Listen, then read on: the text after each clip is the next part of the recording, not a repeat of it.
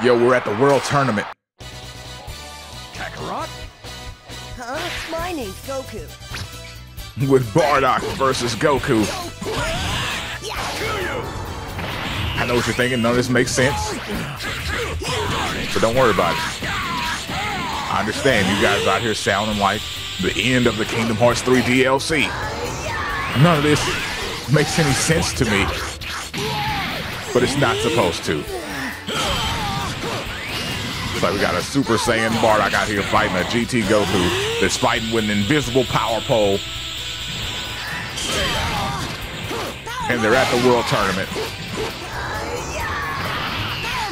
And Naruto's back in the crowd chilling out.